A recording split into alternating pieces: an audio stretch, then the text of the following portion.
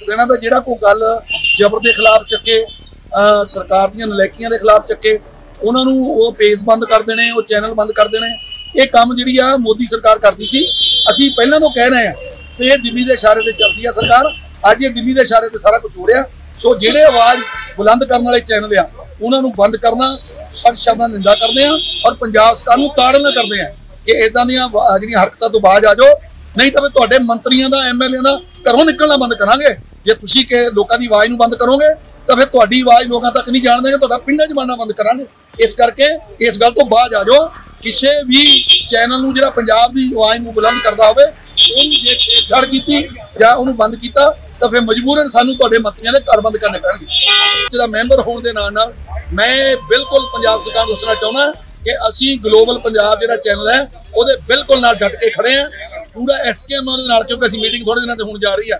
ਪੂਰਾ ਐਸਕੇਐਮ ਨਾਲ ਖੜਾ ਕਰਾਂਗੇ, ਜੇ ਇਹ ਇਦਾਂ ਦੀਆਂ ਹਰਕਤਾਂ ਪੰਜਾਬ ਸਰਕਾਰ ਕਰੂਗੀ, ਤਾਂ ਫਿਰ ਇਹਦੇ ਖਿਲਾਫ ਕੋਈ ਨਾ ਕੋਈ ਐਜੀਟੇਸ਼ਨ ਵੀ ਛੇੜਾਂਗੇ। ਇਹਨਾਂ ਦਾ ਜਿਹੜਾ ਕੋਈ ਗੱਲ ਜ਼ਬਰ ਦੇ ਖਿਲਾਫ ਚੱਕੇ ਸਰਕਾਰ ਦੀਆਂ ਨਲਾਇਕੀਆਂ ਦੇ ਖਿਲਾਫ ਚੱਕੇ, ਉਹਨਾਂ ਨੂੰ ਉਹ ਪੇਜ ਬੰਦ ਕਰ ਦੇਣੇ, ਉਹ ਚੈਨਲ ਬੰਦ ਕਰ ਦੇਣੇ। ਇਹ ਕੰਮ ਜਿਹੜੀ ਆ, ਮੋਦੀ ਸਰਕਾਰ ਕਰਦੀ ਸੀ। ਅਸੀਂ ਪਹਿਲਾਂ ਤੋਂ ਕਹਿ ਰਹੇ ਆ ਤੇ ਇਹ ਦਿੱਲੀ ਦੇ ਇਸ਼ਾਰੇ ਤੇ ਚੱਲਦੀ ਆ ਸਰਕਾਰ। ਅੱਜ ਇਹ ਦਿੱਲੀ ਦੇ ਇਸ਼ਾਰੇ ਤੇ ਸਾਰਾ ਕੁਝ ਹੋ ਰਿਹਾ। ਸੋ ਜਿਹੜੇ ਆਵਾਜ਼ ਬੁਲੰਦ ਕਰਨ ਵਾਲੇ ਚੈਨਲ ਆ ਉਹਨਾਂ ਨੂੰ ਬੰਦ ਕਰਨਾ, ਸਖਤ ਸ਼ਬਦਾਂ ਨਾਲ ਨਿੰਦਾ ਕਰਦੇ ਆ ਔਰ ਪੰਜਾਬ ਸਰਕਾਰ ਨੂੰ ਤਾੜਨਾ ਕਰਦੇ ਆ ਕਿ ਇਦਾਂ ਦੀਆਂ ਜਿਹੜੀਆਂ ਹਰਕਤਾਂ ਤੋਂ ਬਾਜ ਆ ਜਾਓ।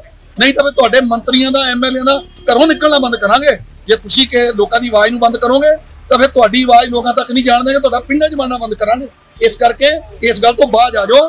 ਕਿਸੇ ਵੀ ਚੈਨਲ ਨੂੰ ਜਿਹੜਾ ਪੰਜਾਬ ਦੀ ਆਵਾਜ਼ ਨੂੰ ਬੁਲੰਦ ਕਰਦਾ ਹੋਵੇ, ਉਹਨੂੰ ਜੇ ਛੇੜਛਾੜ ਕੀਤੀ ਜਾਂ ਉਹਨੂੰ ਬੰਦ ਕੀਤਾ ਤਾਂ ਫਿਰ ਮਜਬੂਰਨ ਸਾਨੂੰ ਤੁਹਾਡੇ ਮੰਤਰੀਆਂ ਦੇ ਘਰ ਬੰਦ ਕਰਨੇ ਪੈਣਗੇ। ਜਿਹਦਾ ਮੈਂਬਰ ਹੋਣ ਦੇ ਨਾਲ ਨਾਲ ਮੈਂ ਬਿਲਕੁਲ ਪੰਜਾਬ ਸਰਕਾਰ ਨੂੰ ਦੱਸਣਾ ਚਾਹੁੰਦਾ ਕਿ ਅਸੀਂ ਗਲੋਬਲ ਪੰਜਾਬ ਜਿਹੜਾ ਚੈਨਲ ਹੈ, ਉਹਦੇ ਬਿਲਕੁਲ ਨਾਲ ਡਟ ਕੇ ਖੜੇ ਆ ਪੂਰਾ ਐਸਕੇਐਮ ਦੇ ਨਾਲ, ਕਿਉਂਕਿ ਅਸੀਂ ਮੀਟਿੰਗ ਥੋੜੇ ਦਿਨਾਂ ਤੇ ਹੋਣ ਜਾ ਰਹੀ ਆ।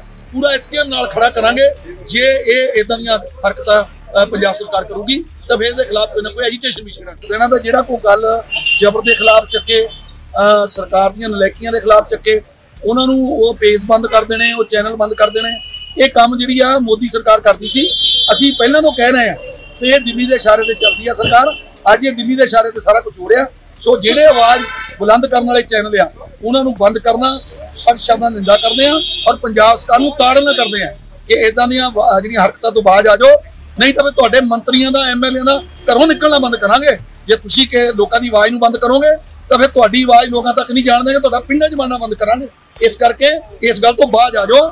ਕਿਸੇ ਵੀ ਚੈਨਲ ਨੂੰ ਜਿਹੜਾ ਪੰਜਾਬ ਦੀ ਆਵਾਜ਼ ਨੂੰ ਬੁਲੰਦ ਕਰਦਾ ਹੋਵੇ, ਉਹਨੂੰ ਜੇ ਛੇੜਛਾੜ ਕੀਤੀ ਜਾਂ ਉਹਨੂੰ ਬੰਦ ਕੀਤਾ, ਤਾਂ ਫਿਰ ਮਜਬੂਰਨ ਸਾਨੂੰ ਤੁਹਾਡੇ ਮੰਤਰੀਆਂ ਦੇ ਘਰ ਬੰਦ ਕਰਨੇ ਪੈਣਗੇ। ਜਿਹਦਾ ਮੈਂਬਰ ਹੋਣ ਦੇ ਨਾਲ ਨਾਲ ਮੈਂ ਬਿਲਕੁਲ ਪੰਜਾਬ ਸਰਕਾਰ ਨੂੰ ਦੱਸਣਾ ਚਾਹੁੰਦਾ ਕਿ ਅਸੀਂ ਗਲੋਬਲ ਪੰਜਾਬ ਜਿਹੜਾ ਚੈਨਲ ਹੈ, ਉਹਦੇ ਬਿਲਕੁਲ ਨਾਲ ਡਟ ਕੇ ਖੜੇ ਆ ਪੂਰਾ ਐਸਕੇਐਮ ਦੇ ਨਾਲ ਕਿਉਂਕਿ ਅਸੀਂ ਮੀਟਿੰਗ ਥੋੜੇ ਦਿਨਾਂ ਤੇ ਹੋਣ ਜਾ ਰਹੀ ਆ।